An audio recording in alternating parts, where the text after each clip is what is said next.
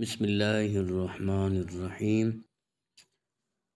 حضرت حاتم اسم علیہ الرحمن نے بلخ میں دوران واس فرمایا کہ اے خدا، اس مجلس میں جو سب سے زیادہ گناہ گار ہو، اس کی مغفرت فرما دے۔